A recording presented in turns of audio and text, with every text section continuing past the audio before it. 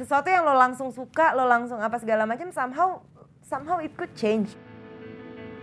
Gue butuh waktu untuk challenge myself, gue butuh waktu untuk question myself. Gue membuat sesuatu yang umurnya akan lebih panjang dari umur gue.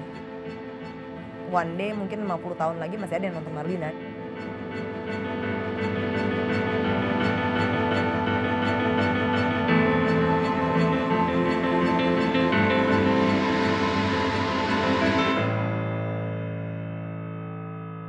Nama gue Molly Surya, uh, gue adalah seorang uh, penulis dan sutradara film.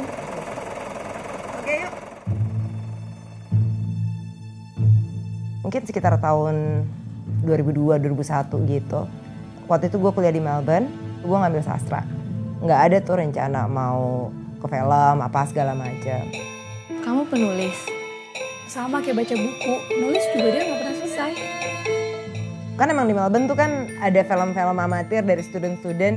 Gue iseng aja gue bilang oh ya udah boleh. Mereka mau minta bantuin bikin skrip. Setelah film itu jadi mikir kok gue pengen ya sekolah film lagi? Tapi lu terus ngeliatin situ ada sapi ya ceritanya? Kan ya, ada. akhirnya gue decide untuk ngambil S2 film. Gue pengen jadi sutradara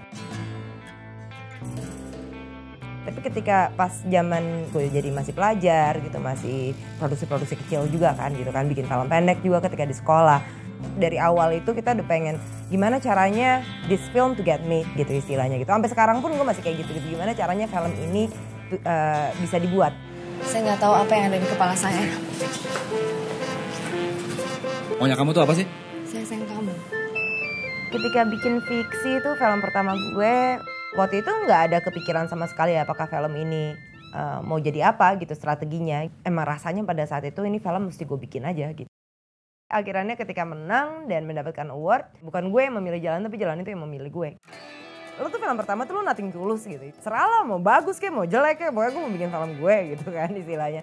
Dan untuk membuat film kedua tiba-tiba udah ada ekspektasi orang gue selalu pengen keluar dari ekspektasi orang gitu istilahnya dan itu sih yang pe yang pengen gue lakuin di film kedua gue gitu.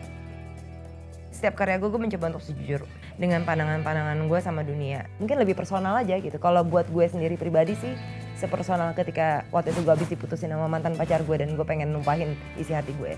Orang lain boleh nggak setuju dan mungkin menganggap gue tidak bertanggung jawab karena perspektif gue loh, tapi itu perspektif gue. Gue jujur ya gue orang yang nggak percaya sama bakat gitu. Pas kita bikin film amatir itu ya gue nggak pernah ngerasa diri gue bakat cuma akan membawa lo ke sebuah tempat yang mungkin ya cukup jauh tapi mungkin nggak sejauh itu kalau lo nggak punya drive nya waktu itu gue pernah ditanya gitu uh, Molly mau jadi apa? Dan gue yakin gitu. Gue nggak ada jawabannya gue cuma lo mau ngadar apa? Gue mau ngadar film fiksi. Dan gue punya skripnya. Keyakinan lo bisa jadi sutradara lo pengen jadi sutradara dan you know exactly what to do lo tahu exactly yang mau lo direct